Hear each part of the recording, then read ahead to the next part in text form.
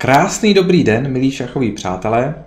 Já vás tímto srdečně vítám u úvodního videa nového desetidílného seriálu věnovaného roli šachových figur v jednotlivých fázích šachové partie.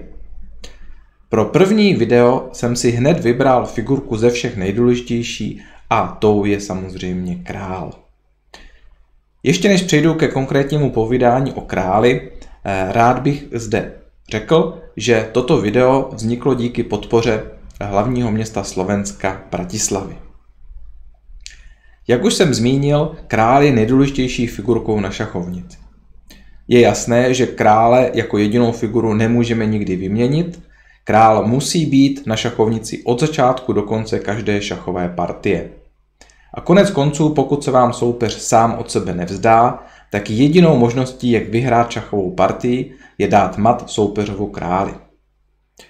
Právě král je figurka, která je velmi zajímavá v tom, že jeho role se v jednotlivých fázích partie velice mění. Zatímco v zahájení a střední hře je král bojácná figurka, která se především schovává před soupeřovou armádou, aby samozřejmě nedostal mat, tak naopak ve třetí a poslední fázi šachové partie, to znamená v koncovce, se z krále stává velmi důležitá a aktivní figura. Jinými slovy, právě v koncovce se role krále diametrálně liší od předchozích dvou fází šachové partie. Pokud se nyní podíváme na základní postavení šachové partie, tak bychom mohli říct, že tuto chvíli král vlastně už stojí docela dobře protože je zabezpečený třemi pěšci před sebou. Vedle krále stojí dáma z jedné strany, z druhé strany střelec. To by mohlo znamenat, že král vlastně může zůstat na tom svém eh, úvodním poli, to znamená bílý král na E1, respektive černý král na E8, eh, poměrně dlouho. To ale není pravda, jak zkušenější šachisté ví, a je to z toho důvodu, že Nejčastějším způsobem vývinu střelců je vyjet centrálními pěšci dopředu. A konec konců jednou ze zásad zahájení je právě boj o centru. Jakmile ovšem centrální pěšci vyjedou dopředu, znamená to zároveň určité oslabení krále. A proto další z klíčových zásad zahájení šachové partie je schovat krále do bezpečí rošádou. A to jak malou rošádou, tak i velkou rošádou. Malá rošáda je o něco častější, běžnější, ale velká rošáda je samozřejmě eh, také velmi dobrým tahem.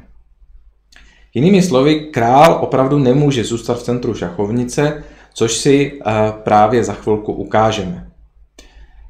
Nejdříve se ale podíváme na to, že už právě na tom políčku E1 respektive E8 ten král vůbec nemusí stát tak dobře, jak se může zdát. Například po úvodních tazích E4, E5 bílý tahem střelec C4 nejenže vyvíjí střelce, ale útočí na nejzranitelnější bod u krále eh, v začátku šachové partie a to je F7, případně u bílého F2. Po z C6 bílý může udělat léčku tahem dáma H5 a když si černý v tuto chvíli nedá pozor a zahraje zdádlivě velmi pěkný tah jezdec F6, kterým vyvíjí jezdce a zároveň napadá bílou dámu, tak dostane takovýto strašlivý mat hned ve čtvrtém tahu šachové partie, což je velké neštěstí. Tomuto matu se říká šustrmat. A je to poměrně častá záležitost, jak mohou začínající šachisté velmi rychle prohrát svou partii. Takže jak vidíme, ten král v centru opravdu nestojí úplně dobře a je potřeba schovat ho do bezpečí rošádou. Ukážeme si ještě jeden příklad, už trošku složitější, ale který opět krásně ilustruje, že skutečně rošáda je nutná.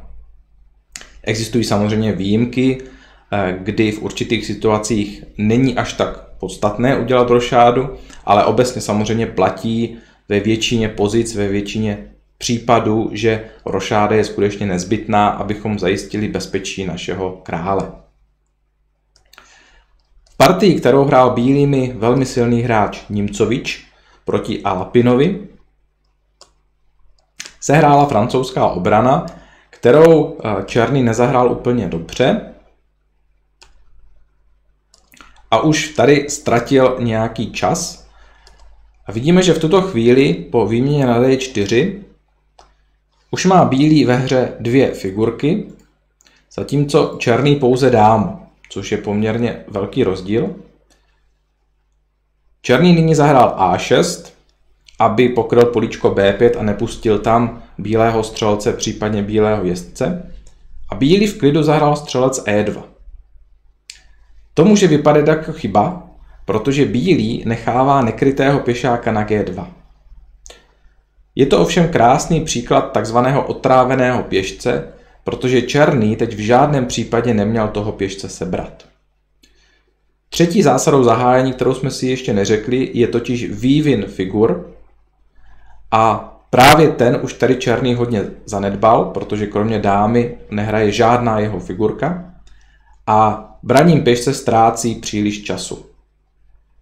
Bílý jednoduše zahrál střelec F3, rozehrává střelce, napadá dámu a kryje věž na H1. Po dáma G6 dáma D2 a bílý sice ztratil možnost udělat malou rošádu, ale může jednoduše schovat krále do bezpečí velkou rošádou, čímž zároveň rozehraje svou dámskou věžku. Po tahu E5, na který černý zřejmě vsázel, přišla pro černého studená sprcha, protože právě kvůli zanedbanému vývinu a kvůli tomu, že černý má stále krále v centru šachovnice, bílý klidně udělal velkou rošádu a nechal černému celou figuru.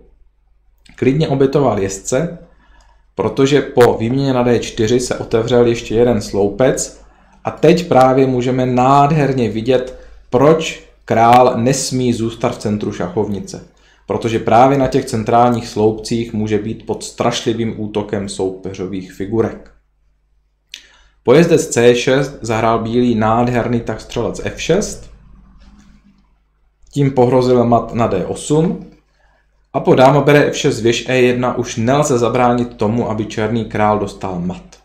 Tak strašně špatně stojí v centru šachovnice na tom svém původním poličku E8. Pokud Černý hraje střelec E6, přichází dáma D7 mat, bílý krásně využije vazbu. Ovšem po střelec E7 přijde střelec bere C6, pokud černý bere pěšcem na C6, případně dámou, tak přichází mat na D8, ale po krále F8 stejně může bílý zahrát dáma D8, obětuje dámu, tím si otevře cestu na pole E8 a tak to dá černému králi nádherný mat.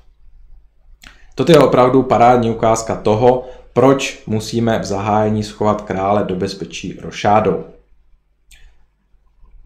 Stejně tak je tomu ve střední hře. Také ve střední hře, kdy už král je tedy nejčastěji schovaný rošádou, je potřeba našeho krále dobře chránit a neznamená to ovšem, že bychom měli všechny figurky dát do obrany svého krále, protože eh, hlavním principem šachu je aktivita figur a souhra figur. To znamená, že naše figurky musí v první řadě útočit na soupeřovou pozici, nejčastěji na soupeřova krále. Pokud ale máme figurek dost, tak je vhodné rozdělit je a například čtyř, čtyřmi figurkami útočit na soupeřova krále, ale jednou či dvěma figurkami bránit zároveň vlastního krále před případným protiútokem soupeřovy armády. Je také velice důležité eh, to rošádové postavení držet bez slabin. To znamená, když se třeba ještě vrátíme ke konečné pozici této partie, eh, tady vidíme, že vlastně bílý má na tom dámském křídle pěšce A2, B2, C2, to znamená, nejsou ti pěšci nijak oslabení, nijak větí dopředu a takto by většinou mělo vypadat právě to pěšcové eh, rošádové postavení u našeho krále, respektive před naším králem, který je eh, schovaný v bezpečí rošádou.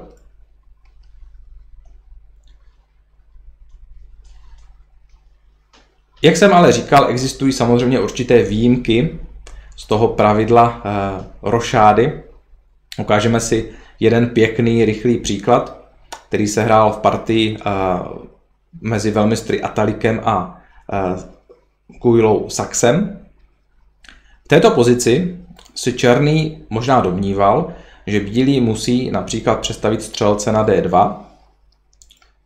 Bílý ovšem zahrál nečekaný tah B4. Což se zdá jako špatný tah, protože pojezdec bere B4. Teď bílý jezdce nemůže brát, protože je tady vazba na bílou věžku.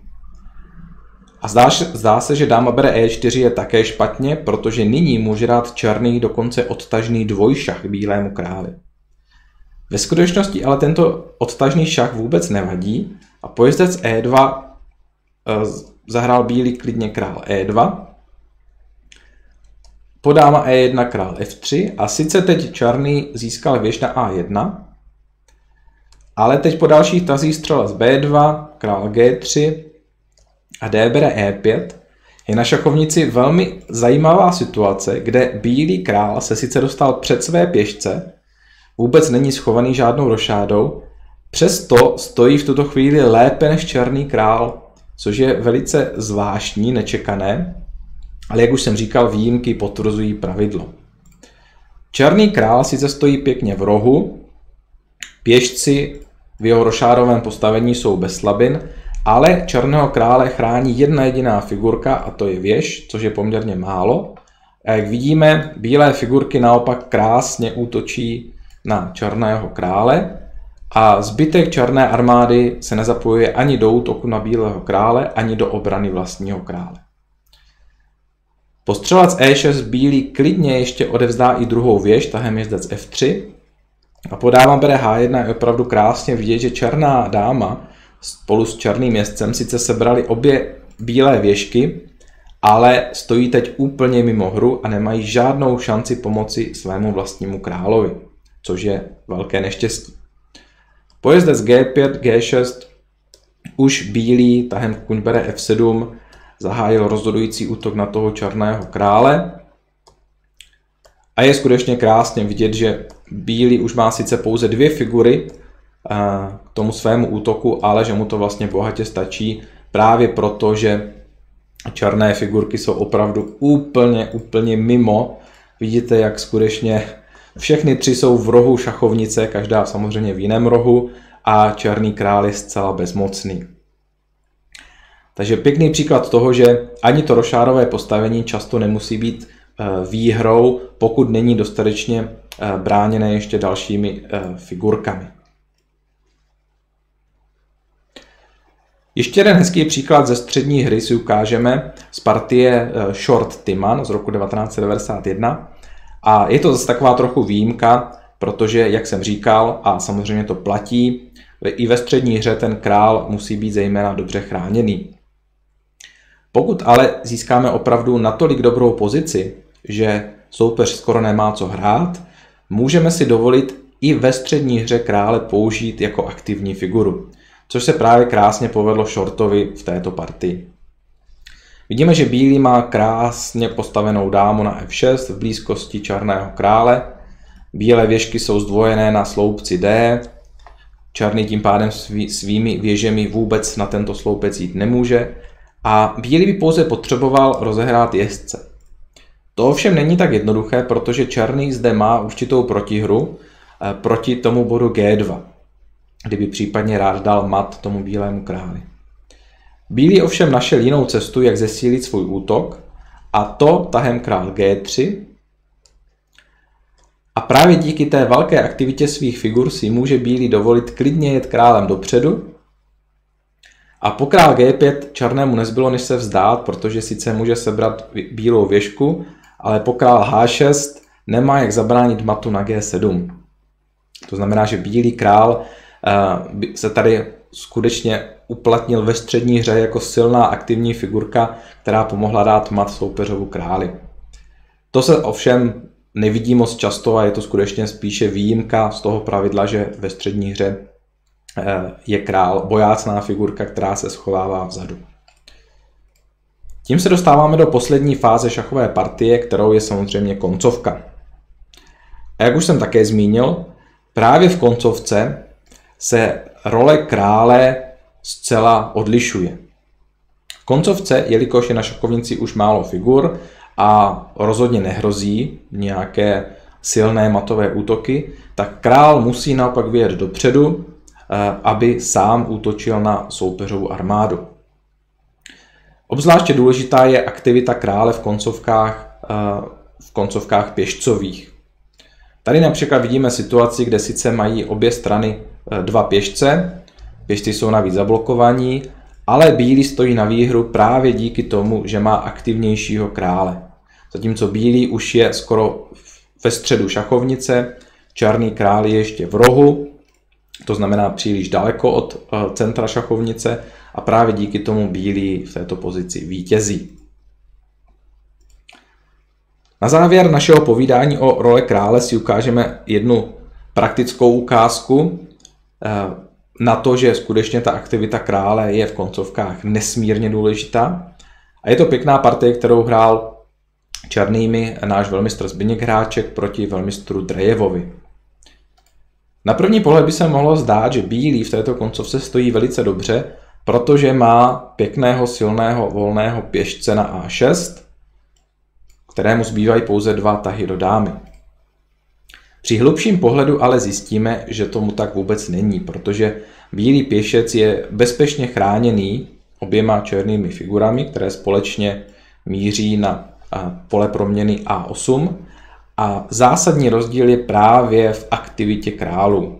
Zatímco černý král eh, už může nyní vstoupit do přímého středu šachovnice, tak bílý král nemá šanci se aktivizovat a právě na to bílý prohraje.